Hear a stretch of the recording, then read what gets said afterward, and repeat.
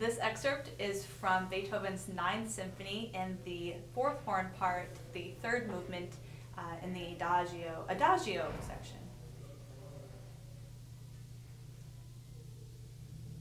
Oh.